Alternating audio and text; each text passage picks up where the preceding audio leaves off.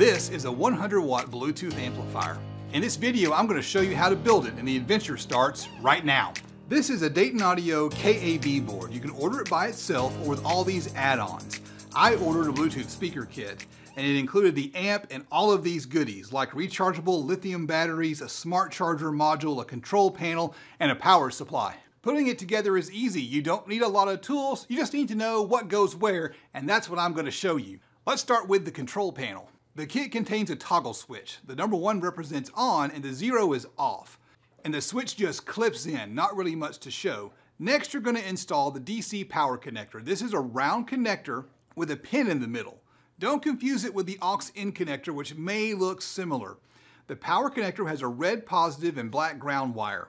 It has a small retaining nut. So you just take that off and then poke the connector through the back side of the board and then thread on the retaining nut. The kit even has a tiny wrench you can use to tighten it down. Next is the volume control. If you look real close at the control board, you'll see there's a tiny little slot underneath the hole for the volume knob. There's a tiny metal alignment tab on the volume control that goes into that slot. You just pull the plastic knob off the volume control and unscrew the retaining nut. And then you line up the tab with the slot. Thread the retaining nut on, and then you stick the plastic knob back on, and the volume control is done. I'm gonna install the auxiliary input next. It just inserts from the back, and once again, you thread on a retaining nut. Now we are left with four LED lights. I'm gonna start with the green pairing light. This one has two black wires. For the LED lights, we insert them all from the front of the board and then slide a washer and retaining nut onto the wire and thread them into the back of the board. The next three lights all look exactly the same, but the wires are different. They're installed exactly the same with the retaining nut threaded onto the back. The green and black wire is the power LED, the blue and black wire is the Bluetooth LED, and the red and black wire is the charging LED. All that's left to do is to connect the volume control cable to the volume control and the control panel is done. But we're not done yet. There's still a lot of wires to hook up, so keep watching. Let's check out the amp board itself. This is the red board with the big round heat sink. Start by orienting the board in the same direction as the instructions. This will keep you from getting turned around. I'm gonna start on the right-hand side of the board and start working my way around the board counterclockwise. We've got three white connectors in a row. The first connection is an expansion slot. We don't need it. Next is the on-off power cable. This is the wire from the toggle switch. It's a pair of black wires.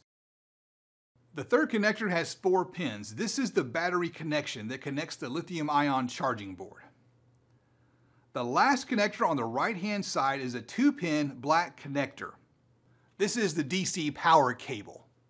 So we find the power plug on the harness and plug that wire in. It'll be red and black. The clip on the cable slides over a tab on the inside edge of the connector. Moving on to the top of the board, we have two connectors. The first one is the volume control cable. So we track down the volume control wire from the control board, plug that in right there.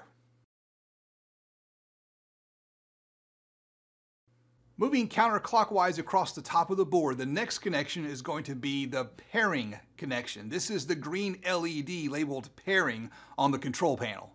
This cable has two black wires and all of these cables only fit one way. And so if you're finding yourself having to force it in, you've got it in wrong. You want to turn it around, put it in the correct way.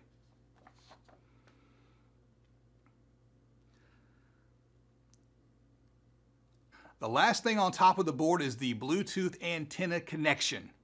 It's a little bit hard to see. It's this little bitty brass knob that sticks out from the board. You just clip the Bluetooth antenna onto that and you're good to go.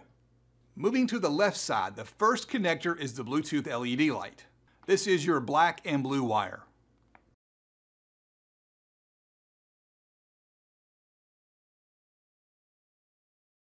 The next connector is a black and red wire. This is your charging LED connector.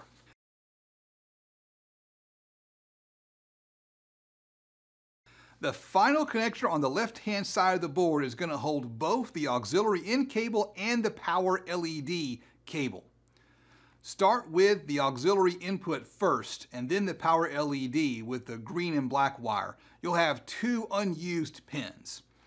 Now there is a connection at the bottom of the board. This is the speaker wire connector. Pay careful attention to the instructions. All four of the wires on the connector are the same size and color, so it's easy to get them mixed. I'm not ready to plug in the speaker wire connector yet, so hang on, we'll get to that in a little bit. Okay, now the hard part is over. Now all we need to do is grab the risers out of the kit and start putting the plate and the board and the battery all together.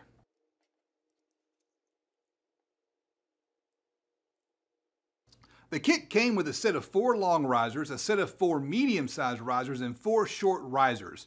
We're going to start with the long risers. In the kit, you're going to find some black Allen head bolts. These thread into the risers through the control panel.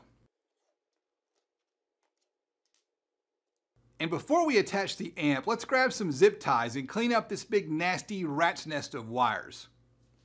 I'm using some flush cutters here. These don't leave sharp edges on the zip ties. It'll keep you from slicing your fingers on the zip ties. I'm going to leave a link in the description. Go ahead and buy some of those if you do a lot of stuff with zip ties. You'll thank me for it. Now take one of the other riser sets. I'm not sure if you really need the short ones or the medium ones. You're going to thread those into the long risers through the amplifier board. Make sure you don't mix the sizes, that won't go very well. Next, you're going to insert the batteries into the battery holder. And you're going to use silver Allen screws to attach this board to the risers coming off of the amplifier.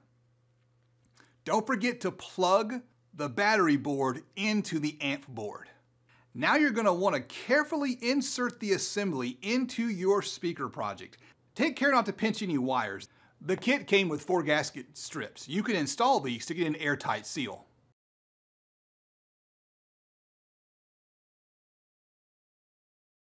Now you just pre-drill your screw holes and screw down the mounting plate. But we're not done yet. To see what happens next, you're gonna wanna hit the subscribe button so that you can see the next video.